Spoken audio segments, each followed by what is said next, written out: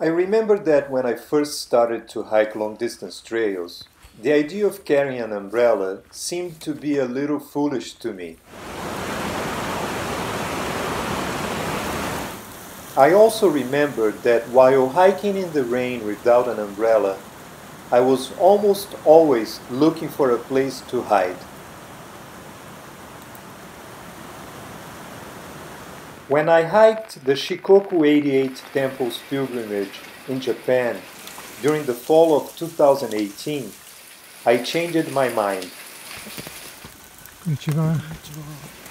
On my first rainy day on that trail, I saw a number of pilgrims hiking with their umbrellas. That's when I decided to get one and give it a try.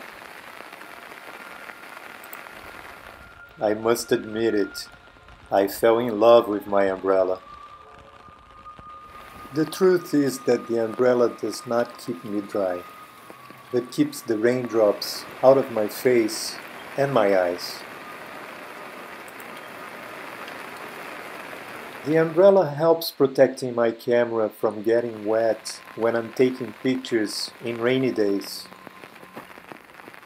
I understand that I can reduce weight without it, but today I see my umbrella as my luxury item. It is small and ultralight, and for now I plan to have my umbrella with me as well as my Zpacks duplex tent during my thru-hike of the Appalachian Trail in 2020.